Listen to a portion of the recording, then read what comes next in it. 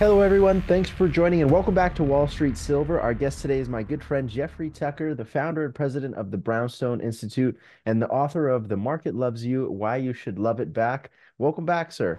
Uh, so nice to be here. Thank you. Yeah, always a pleasure having you on, Jeffrey. So we're watching closely what's happening in the markets. It's absolutely crazy. Uh, we're into 2024, so happy New Year to you and everyone watching.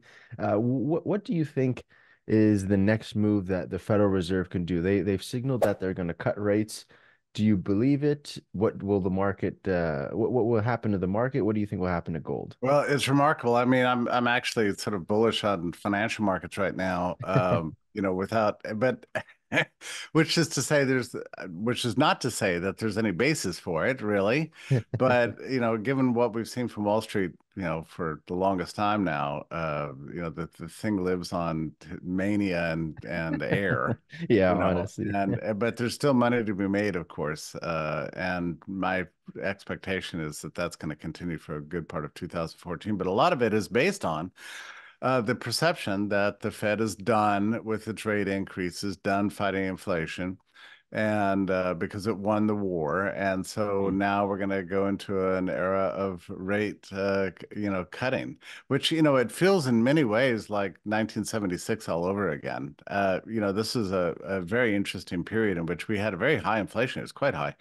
Uh, 1973, 74, 75, and you know to the point we had price and wage controls. You, you, recall getting off the gold standard did not achieve what what they promised. Uh, it led to a massive inflation, and and then the Fed raised rates, and and the inflation started coming down, and you know died died back, and the Fed proclaimed victory. You know, we won, we won, and started cutting rates in advance of the election. Of course, uh, the Fed is a highly political organization, mm-hmm. and uh, the idea was was to um, uh, you know, get get get Carter in basically, and um, and then and then that those rate cuts, you know, rekindled inflation all over again, and it was worse than it was before. Jeez. So I mean, it was a disastrous monetary policy, and it's and it's very strange to me the Fed doesn't pay any attention to this history, as if it's you know it happened. You know, uh, it's as relevant to the Fed as the War of the Roses or something. I mean, they just don't they just don't care. Um, so now you've got the Fed signaling that they're going to be cutting rates. Uh, what do you know in advance of another election, right? There's a political business cycle as well as an economic business cycle, right? And it's, it's it strikes me as extremely dangerous if if they go through with it.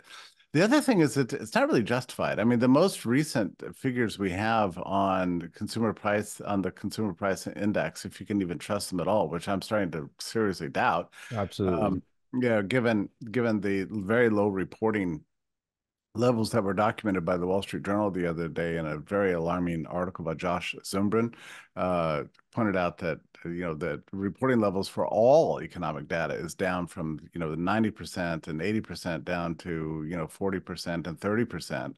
Uh, so the businesses and institutions are calling to report how many jobs are available, how big, how inventories, what are prices looking like uh, they're just not answering the phone, and and yeah. so the statistical gathering techniques have really uh, collapsed to the point that, and he's he's a columnist that writes exclusively on data, and and he says at the end, uh, despite my severe criticisms, I'm not going to give up my column. Uh, well, that was an interesting comment. So he was actually considering like resigning his position because you can't wow. trust the data. Therefore, there's nothing right about. And also, I'm not sure what it means to say uh, your criticisms are fairly severe. It sounds like he wrote severe and then thought severe was too severe and just added the word fairly. Uh, but but in yeah. any case, uh, the most recent data we have from the CPI, such as it is, shows sticky price inflation still at five percent, which is you know way above uh, the Fed's target. So I'm not sure what they mean by that. Mm-hmm. Uh, the other the other problem with inflation that everybody should have learned by now, but everybody some somehow forgets, is that there's not a single level of inflation. It's not as if prices uh, migrate up and down like the sea level. Uh, the, what what really happens is that the price pressures move from sector to sector to sector to sector. So it goes from, oh. from food to energy to housing and when one sector's up the other sector's down and just migrates around all over the place and and recall too that this current bout of inflation began in in financial markets So, you know, it wouldn't surprise me to see it end in financial markets. I mean, rising financial markets can also just be a sign of of of, of inflationary pressure uh, too. So that may be where it's headed. I mean, there's no question that the rate of inflation has calmed down in its rate of increases, but it's nowhere near uh, uh, being at the Fed's target. And uh, and and and to say nothing of you know you know threats of deflation, which we're starting to hear about that now too. So it's just the whole thing yeah. is just crazy. I mean, the public rhetoric has nothing to do with reality on the ground. So will the Fed do it? Well, I would say it depends on uh, things like GDP data and whether they can continue to um, uh, broadcast out the appearance of right. a, of a, of prosperity and the sound economy in advance of the election for election purposes, so they can say that Biden's doing a great job and he should be reelected. Mm-hmm. Um, and if if that is not happening, then they may play with some rate cuts just to jazz up Wall Street even more uh, going into November. Yeah, that totally makes sense. Absolutely, Jeffrey. And you see now, like if we're comparing it now back to the 70s and what happened when they cut rates uh, too early and then inflation went back up. Let's say that scenario plays out again. They cut rates 2024, inflation starts going up worse than before. What what what happened in the 70s with gold and and silver when that happened? Uh, do you think something similar can happen again? If well, what's remarkable is we're starting to see that you know already uh, right. uh, playing out. I mean, you you've got at the one hand, you know, a, a, kind of a renewed mania on Wall Street, but on the other hand, these um, these these other uh, sources of of of safety uh, seem to have been jazzed up uh, too. And right. so, you know, as as we move into uh, throughout the rest of the year and 20, 25 and 26, we're going to see ever more interest in in all these safe haven, uh, you know, assets. Um, I don't think there's any question about that. I mean, you're seeing some wild predictions for gold, silver, and Bitcoin, which are the three, right. you know, sort of main um, things that that people look at.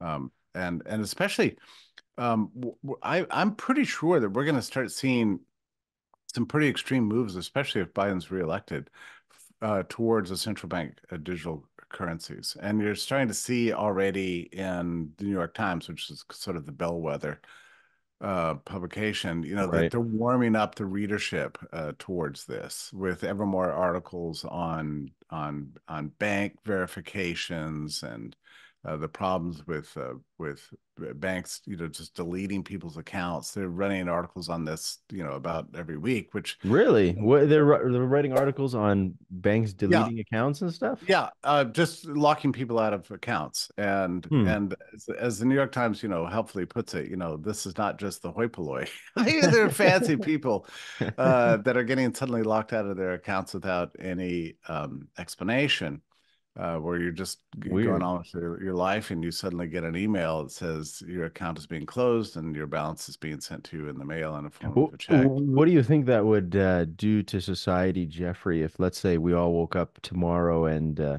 there was cyber attacks across North America and everyone woke up to zero dollars?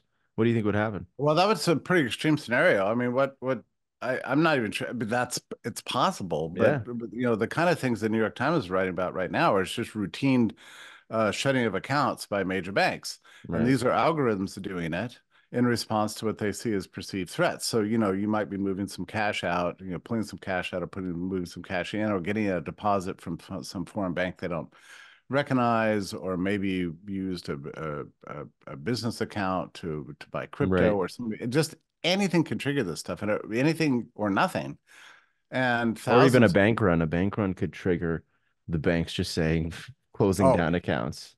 Oh, sure. But in that case, they're not likely to be sending you your balance. um, yeah, but right. but it's very yeah. awkward situation. So you see what's happening here. Um, it, so the New York Times is like warning everybody that your account could be closed and and what they're calling for is some kind of new system of of uh, verification so that you know that you have to jump through a series of regulatory hoops to get your account secured, same as getting a verified account on X or Facebook or something like that. Like a so, social credit score, you got to get verified. Yes, it's, it's, the beginning of something like that. And wow. well, do you want you do you want your bank suddenly to lock out your funds and delete? I, I don't. I don't want my bank looking at my tweets and being like, "Oh."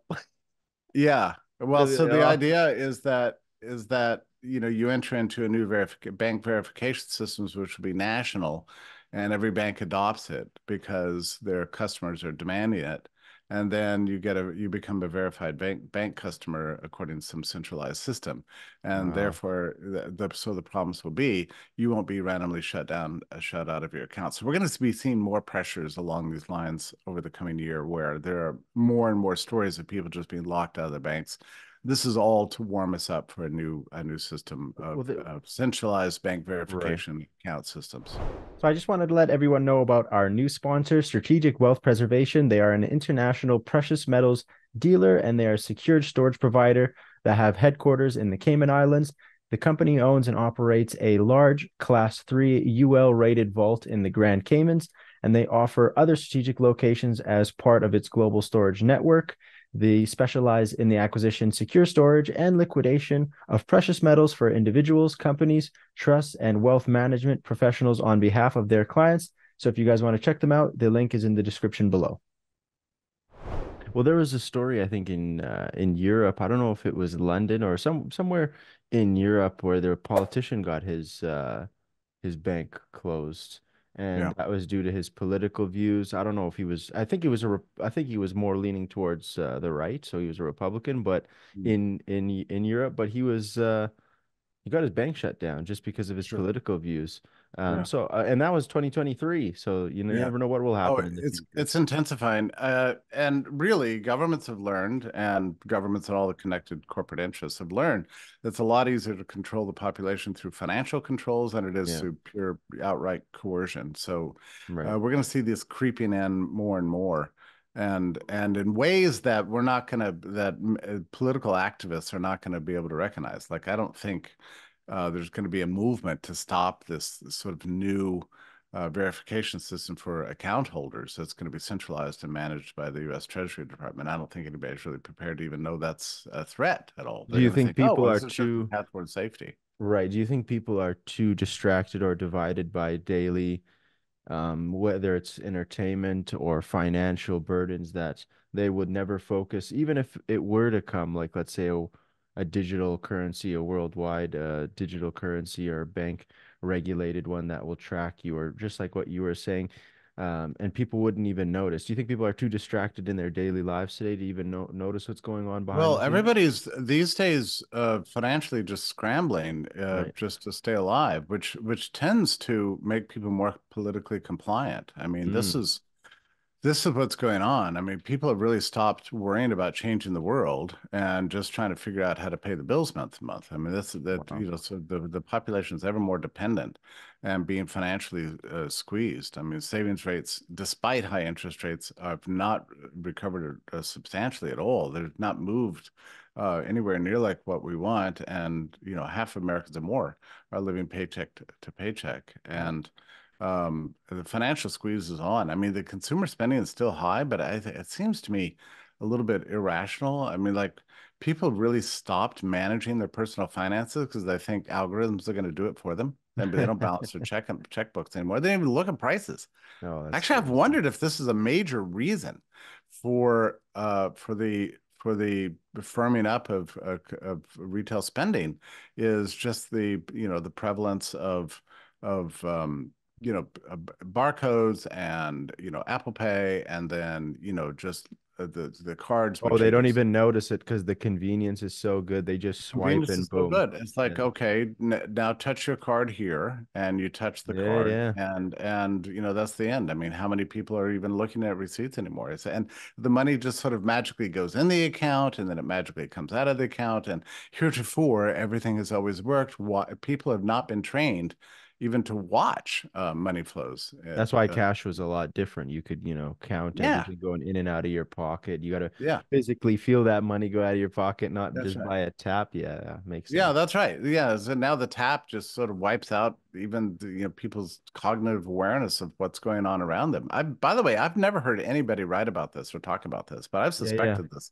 Yeah, no, it's it's it totally makes sense. The convenience would make someone not mm-hmm. financially literate because they would just tap away better oh, yeah. instead of counting their actual physical dollars. Yeah, no, I mean you go to the grocery store, you pile stuff in your in your cart, you stand in lines, they run it over some magic, you know, mirror thing, and then say tap your card and you tap it and you you know they shove you out and you're out the door and that's it. And you're maybe you, you get to the car and you think, God, do I, I can't believe I had to spend $150. Oh, okay. Well, yeah, yeah. That's yeah. it. Yeah, but the money, you know, comes into the accounts, it goes out of the accounts, and everybody thinks it happens by magic, and and it's been that way for a very long time now. So people are just really not even trained to for budgets, or they're not looking at their credit cards. I mean, how many people even know that you know typical credit cards are now? And and by the way, we are way past a trillion dollars in credit card debt. I mean, it's it's just gone crazy. Yeah, nuts and the revolving accounts are are are frequently used by two thirds of credit card holders now, and these rates are running uh, twenty percent and higher uh, on credit cards, and people just don't even notice. I mean, it's just this wicked. It's a it's a wicked system of financial expectation that people are, are just not even aware of. They don't even know they should be aware of it until yeah. it's too late. You know, and until the veil is lifted, and right we didn't even talk about unrealized losses for banks and oh my goodness. It's yeah. crazy what's happening in the in the near future. But i want to thank you jeffrey so much for coming down to wall street silver and everyone watching. Thank you so much. Uh, where can people contact you jeffrey? Uh, i'm at brownstone.org i write uh, more and more these days at brownstone.org but also every day at the epoch times. Awesome. Well again thank you so much jeffrey and i'd love to have you back on soon. Okay. Thanks so much. All Thanks. the best